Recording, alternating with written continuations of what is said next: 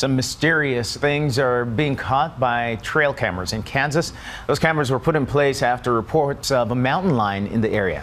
No mountain lion yet, but one of the cameras did capture this image. Okay. That's a fox. Yeah. But that's not all. Um, there's also a gorilla roaming around there in the garden. Oh, come on. Um, wait, actually, there are actually two gorillas there. Oh, come on. A woman with a walker is also in one of them for some reason. Are we being punked? Oh, oh, wait.